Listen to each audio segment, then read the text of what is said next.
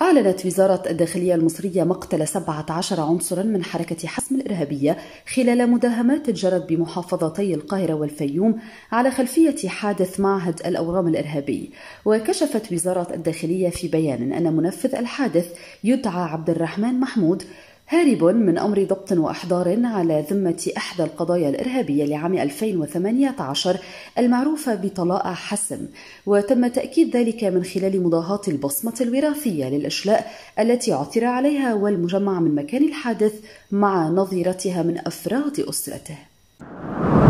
اختتمت فعاليات النسخة الأولى من بطولة آسيا لناشئي الملاكمة والتي جرت منافساتها على صالة نادي الكويت للألعاب الرياضية وذلك بتتويج الفائزين.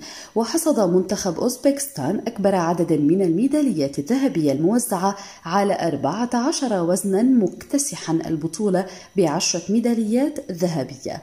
وأشاد رئيس مجلس إدارات الاتحاد الكويتي للملاكمة في تصريح لوكالة الأنباء الكويتية كونا بالملاكم عبد العزيز الذي حصد الميدالية البرونزية في وزن 67 كيلوغراما وسط منافسة قوية من أبطال العالم وأبطال أولمبيين.